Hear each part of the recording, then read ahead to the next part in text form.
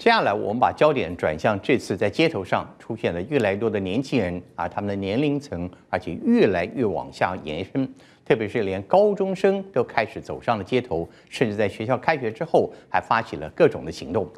在上回的所谓的战中运动当中，曾经有媒体事后统计，当时似乎参与的人群当中，超过四成都是二十九岁以下的年轻人。在世界各国很多的抗争过去历史当中，其实青年人一向是主力部队。不过这一回，我们看到在香港的街头运动当中，这几个月下来所看到的年轻人，似乎他们的年龄层更往下延伸，所占的比例也更高。在过去二十多年来，香港政府其实很强调年轻人的爱国教育，但这次看到年轻人他们的呼声，似乎在这个教育跟现实生活环境的考验，以及给年轻人未来的生活愿景之间，产生了严重的矛盾。我们来听听年轻人的声音，也看看这些年轻的高中生。他们究竟担忧些什么？加油！加油！穿上整个暑假没穿的校服，九月二日，香港的中学开学了。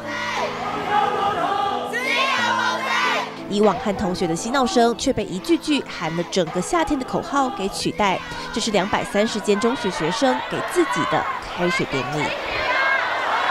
拿着罢课不罢学的文宣，学生不是不进教室，而是在第一堂课前用短短几分钟时间，在学校周围紧紧牵起身边手足，常常人列不同学校彼此串联，恰好遇上女校学生接起隔壁校的男同学。拉近一看，才发现害羞的两个人其实是牵起一支笔。照片在网络疯传，有人为他们青涩的纯真微笑，也有人因他们早熟的抗争而感叹。到陆續咧，越嚟越多嘅同學咧，已經係嚟到愛丁堡集會嘅呢個地點啦。其中響應罷課的四千名學生更齊聚中學生罷課集會。他們說，從開學起，每個禮拜一一周一罷行動，只是說明他們沒有未來，又何必上課？雖然我得十四歲，但係我見到好多人都為呢件事而犧牲，我自己都開始好驚，好驚呢個社會變咗質。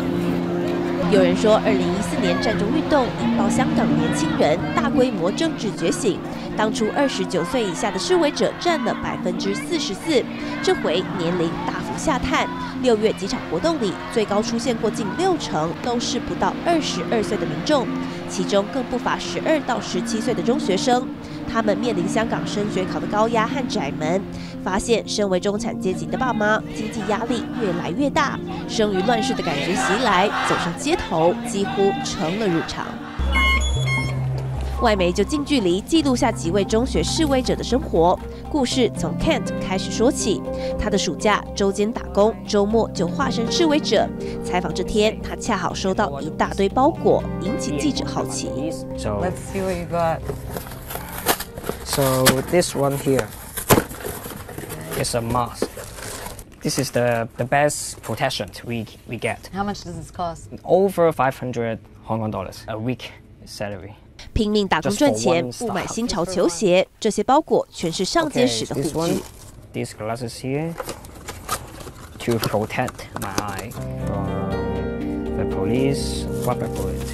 他说：“爸爸发现弟弟上街示威时，祭出家法伺候，把他吓傻了，一切只能偷偷进行。” I would never let my dad know. Where does he think you go? Uh, working. 这个周末的街头又开始酝酿烟消。上街前，Kent 带着记者走进一处未曾曝光的秘密基地。Everybody just knows which places will. Yes, but we need to keep it as a secret. 中学生们利用饭店房间当做战略基地，做行前组织與最後定義。行到出去條街咧，就唔好覺得冇狗、冇警察，好安全。不像 Kent 是勇武派示威者，这群学生主要负责前线急救。他们整装准备出发时，开始和记者闲聊。Do you know what is GTA? No.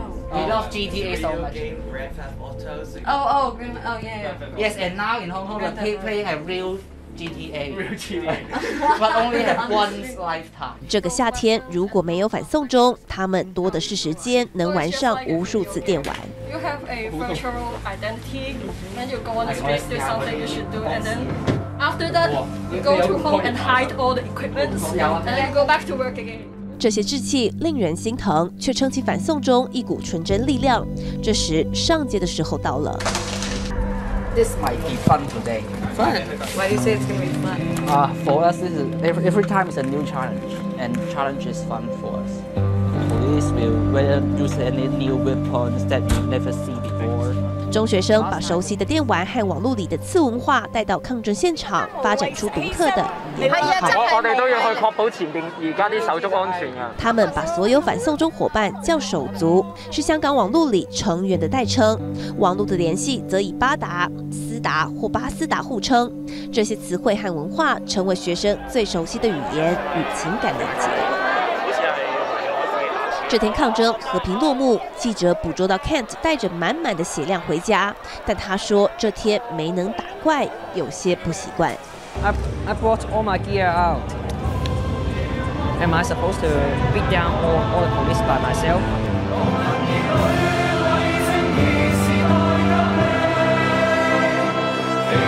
但